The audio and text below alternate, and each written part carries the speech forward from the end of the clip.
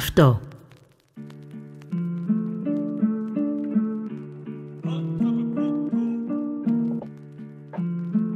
Θυμάμαι είχα αρχίσει ένα μακρύ ποίημα. Έλεγα σαν ένα μακρύ ποίημα και θα λέει γι' αυτό. Αυτό, ποιο αυτό.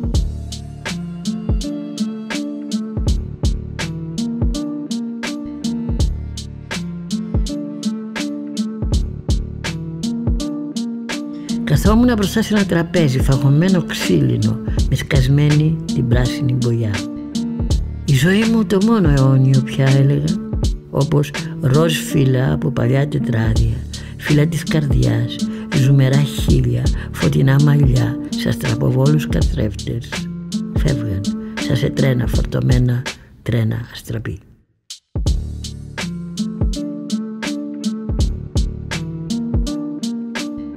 Η ζωή όμως έμενε και είχε μια γεύση, μια γεύση.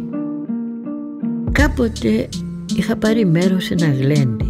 Κάποτε που κάτι μου είχε προσφερθεί. Ένας καρπός στρογγυλός, ένα σώμα άλλο από το δικό μου με είχε απορροφήσει. Το μυαλό μου κάνει την κίνηση του χεριού που ψάχνει κάτι στο βάθος μιας τσάντας.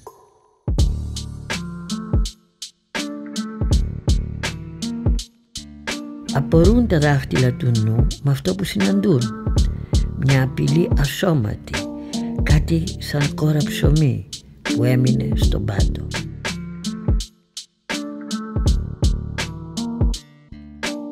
Οι καλοί ζωντανοί μου, σιωπηλοί, κάθονται στο μισοσκόταδο, κάτι ακούν, κάτι τους συγκινεί και κουνούν το κεφάλι, κεφάλι λευκό.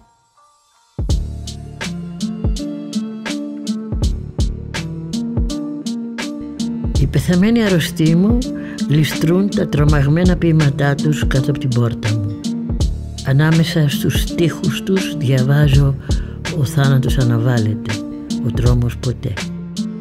Όμως, πέρα από την υφή της απειλής, ψάχνω μιας αδιόρατης συγκίνησης στη ρίζα. Όταν συντροφίτσα μου με έλεγε η μάνα μου ή όταν ακούμπαγα σε στήθος με γυμνή καρδιά. Τι είναι αυτά, τι είναι αυτά; Ακούγεται μέσα μου να τσιρίζει ένα πουλί στριγκό. Δεν είναι αυτό που ψάχνεις. Δεν είναι αυτό.